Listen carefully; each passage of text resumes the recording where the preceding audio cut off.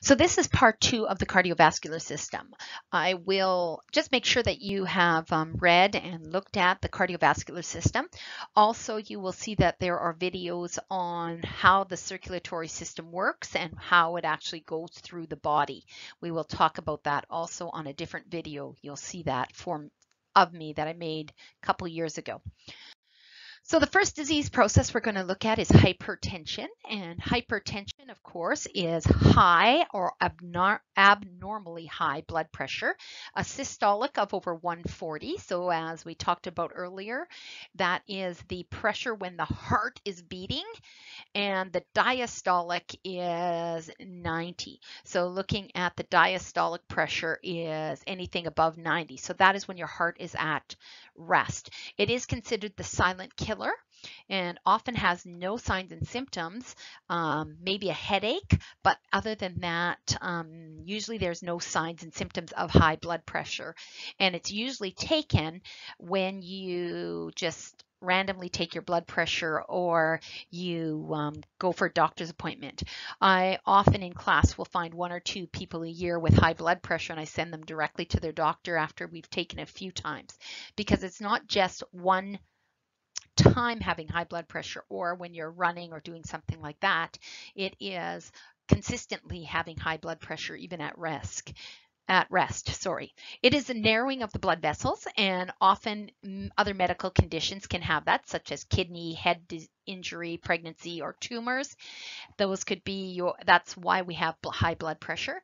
It, eh, risk factors are over the age of 35, ethnicity, a family history, obesity, diabetes, stress, constricts the blood vessels and causes us to, that sympathetic nervous system overactivates and gives us that adrenaline.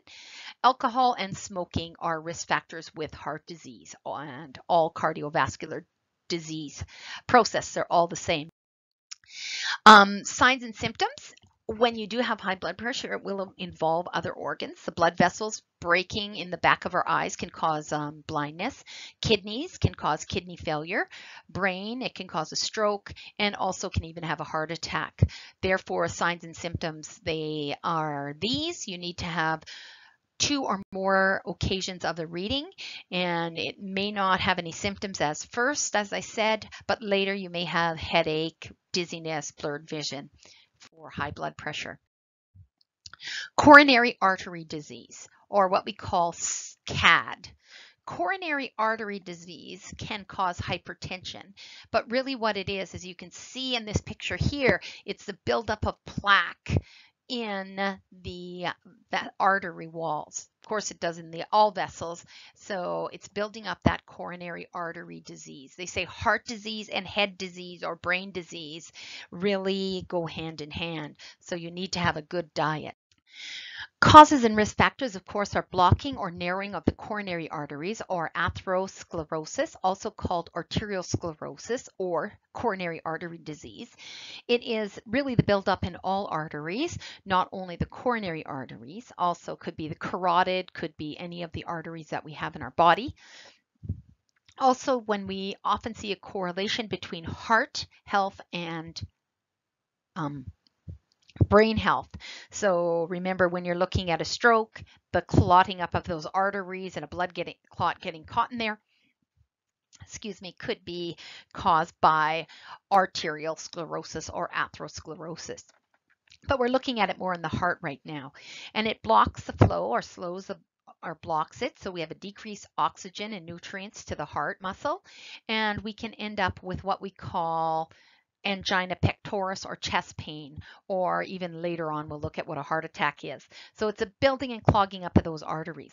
If you're looking at the risk factors for coronary artery disease or CAD, you will see on 836 hypertension, increased blood cholesterol level, lack of exercise, smoking, alcohol, increased stress, um, diabetes, age, sex have a men have a slight, uh, slight higher risk and family history. So some of these things we can do things about, others of course we cannot. A sign and symptom of coronary artery disease is what we call angina or chest pain.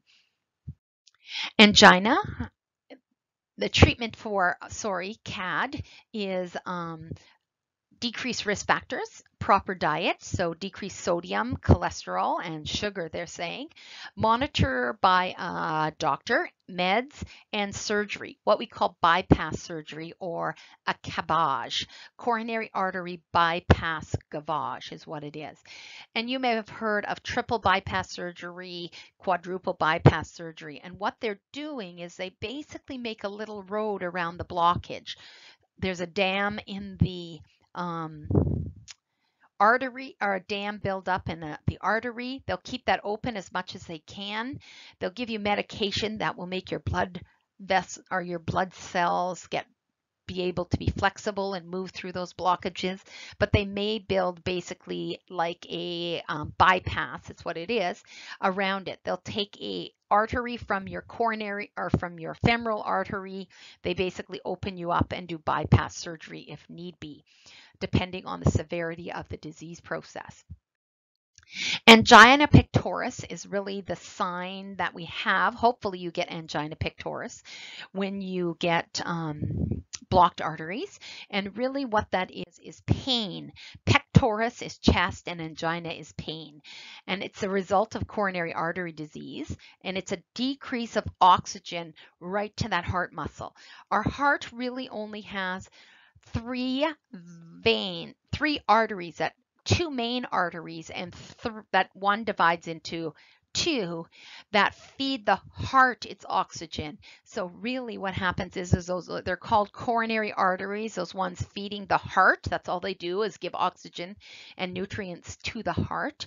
They get clogged up with cholesterol, eating too much rotten ronnies and fried food, deep fried food. Um, you can end up with this cholesterol stuck in your arteries. And when our heart doesn't get enough oxygen, it basically is screaming. It's just like any other muscles that we're working, but it's not getting enough oxygen and it's screaming. So we end up with chest pain. So it could be severe chest pain, but it could be heaviness and tightness, feeling of basically heartburn. It's often on one side of the body. It may go down the jaw, the neck, the shoulders, the arms, and it usually lasts 2 to 15 minutes in um, duration. It can be mistaken for indigestion. They'll become short of breath, nausea, sweating, dizzy, palpitations. And for treatment, you rest when the episode begins, you rest and it decreases the heart um, muscle from working, and you think that you're just out of shape and too much um, fat or whatever it may be, but or too fat, whatever you may think. But um, there are very thin people who can have heart attacks. My father was one of them actually, very thin, unlike me, had no adipose tissue whatsoever, was on a low um, cholesterol diet, but did have a heart attack. So these things that we um, need to avoid, things that trigger our angina if we have angina. Meds, often this is where you're going to see nitroglycerin. When we talk about nitroglycerin later on in our medication um, module, you're going to see that it comes in spray, ointment, pills, patches. And the person should always have their spray and their patch with them at all times. They do not take more than three tablets. So they'll take one tablet when their angina starts. And if it is not relieved in five minutes, you take another tablet. If that is still does not relieve it, you can take a third tablet. Um, and usually, um, that will stop it. But if not, you need to call 911. So make sure that you have, and if you do have triggers that give you angina, you can take your angina or your nitroglycerin prior to that activity. Patches are usually applied in the AM and removed at HS, but I have seen it the other way. And we've already talked about the CABG or coronary artery bypass gavage, which is the defective part of the eye artery is bypassed, and then we have proper diet, of course, a low cholesterol diet. And if your angina gets so bad and the, actually our coronary arteries get so bad clogged up it will actually stop the flow of blood completely to the heart muscle and we end up with myocardial infarction And my infarction is death of, myo is muscle, cardio of course is heart. So it is a heart attack. It may be called a coronary. It may also be called a coronary occlusion. Um, so you may hear any of those words and really it is blood flow is cut off to the heart and there's no oxygen to that tissue and it dies. And unfortunately it's just like a fish bellied up dead. That tissue does not come back. When we're looking at signs and symptoms, they are on page 865, sudden, severe, and when we're looking at angina or we're looking at heart things, it has chest pain. Doesn't have anything to do with our brain. That has to do with a stroke. So sudden, severe left-sided chest pain, stabbing, crushing, burning, radiating, outlives angina pain. You've taken your um, pills and it's not working. Shortness of breath, nausea, vomiting, cold, clammy, weak pulse. They'll have a decreased blood pressure, decreased um, respirations. And this is not relieved by nitroglycerin tablets or spray or antacids. Treatment, this is an emergency.